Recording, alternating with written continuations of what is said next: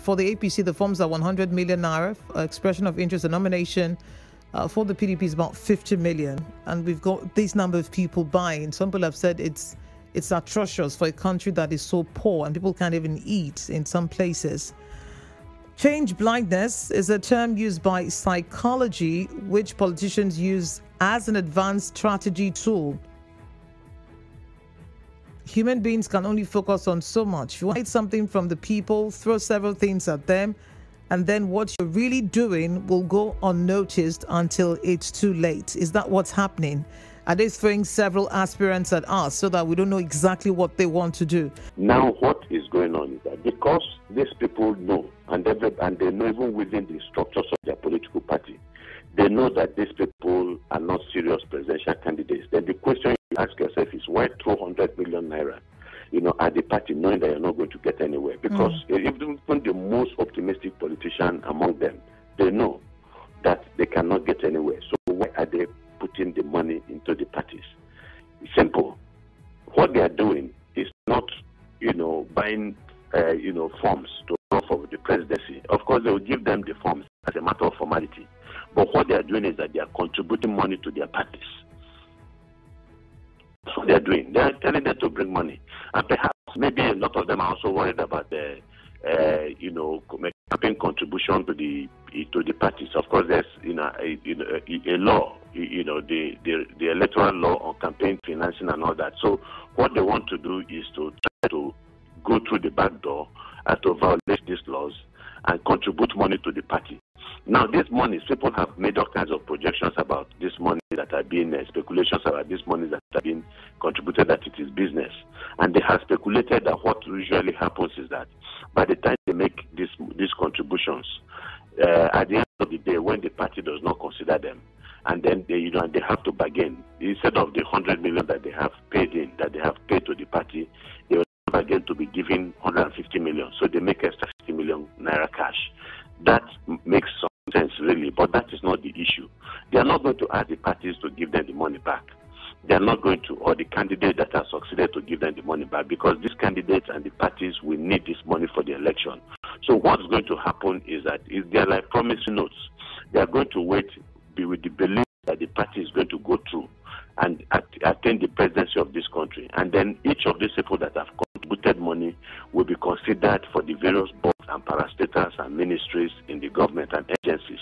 So that's what the whole thing is all about. Don't, a lot of them, politics is business. Politics is not about you know service to the people. That's why their politics is not backed up by any strong ideological or reasonable ideological compass. They do not they do not stand on any serious any serious you know philosophical construct. That's why it is easy to move from the PDP to the APC when somebody annoys them in the in, in the PDP, and then move from the APC back to the PDP when somebody disappoints them at the, at the APC. So it is business for a lot of these people, and so the hundred million that you are seeing, you know, is an investment, uh, uh, you know, in the fortunes of the party, and that investment, uh, you know, they are hoping they are going to uh, recoup. So it gives you a very good picture of what is happening that in spite of the crisis of governance that we're going that's going on in this country, in spite of the insecurity in Nigeria that we have continued to witness, in spite of failures of governance in so many aspects of our national life and the suffering of the Nigerian people, the, the university system is closed down and all that, the politicians are still carrying on as if nothing matters.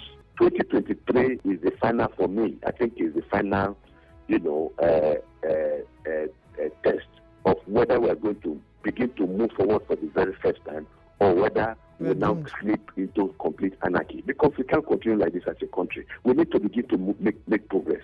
Um, but, but you know, in the end, it's the delegates that will decide who the you know uh, candidates will become. Perhaps induced or perhaps um, Enoh, yes. And Enoh, Enoh, Enoh, in theory, that is what it is. The delegates declare and then mm-hmm. decide. We all know that in theory. Okay. But in practice, because some of us have been involved, we have seen what goes on in the country, and a lot of you people, even those in the media, and people who are keen watchers of the polity, that the delegates do not have a say.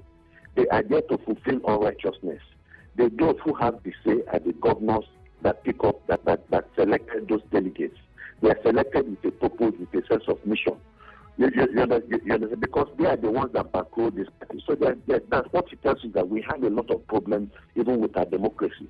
A situation where the people themselves do not, you know, contribute anything to the development of their political party. But that these parties are being bankrolled by powerful people. The who pays the party must ultimately dictate it. So when you are talking about delegates, which delegates you're going to ask? They are there to fulfill, you know, a, a, a righteousness. Uh, and, and, of course, you know that they also they all, also all have their prizes. Delegates are not settled in naira; they are settled in dollars. I have seen this personally. I mean, being involved in in uh, monitoring uh, uh some of the, party primaries that we have seen in this in you know uh, in some parts of the country. So we see we know what happens. So the delegates are bribed the same way voters are bribed during you know election, and and that gives you an idea of of, of where we are. Uh, uh, sometimes you, you know uh, you ask me for a solution, I have all the solution. You know, but what I know is that something has to give within the politics. Something radical, something revolutionary has to happen. Mm. The people themselves must be able, for the first time, say, "Look, we stand for something."